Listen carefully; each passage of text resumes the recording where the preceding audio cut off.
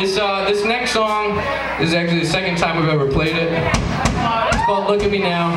Uh, we've been working on it, so we hope you like it.